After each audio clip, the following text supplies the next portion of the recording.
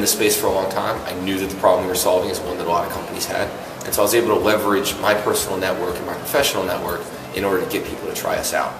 We're very focused on serving the four and a half million companies in the US that run QuickBooks. We want to make sure that their expense reports are just perfect. Our target customers are universities, schools, uh, and teachers, um, depending on you know, the model that they go down. And we got our first customers really through uh, mostly you know organic uh, marketing and kind of word of mouth. Our customers are both merchants and uh, everyday shoppers.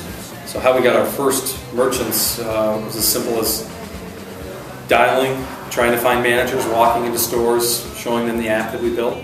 The reason we were able to secure our very first advertiser was because we filled this void in the market for this 24 to 40 year old city-centric cosmopolitan woman.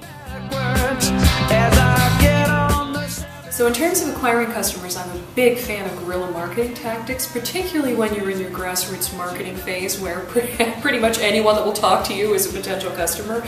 Uh, I'm a big fan of finding out where they are and, and chasing them down. So the Sittercity, I fired over 600 dorms to get the first 600 sitters, and I, I, I talked to every parent I babysat for chased moms down in supermarkets. With Contact Karma, uh, frankly, I'm finding a lot of my customers here at 1871.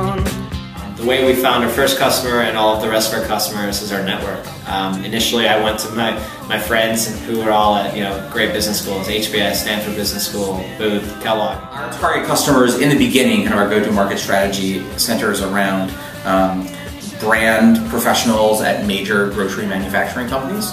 Um, so consumer insights researchers and senior brand managers.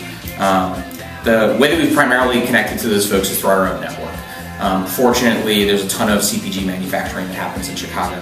The way we went after and what we collected on our customers was first of all, who were the influencers in our market. That was the most important thing for us is to capture the influencers because we knew that there was a group right behind those influencers that were all trying to be the influencers. So if we could get that top group, we knew this group would go. And then that sort of helped us seed the network so that we could get the rest of, you know.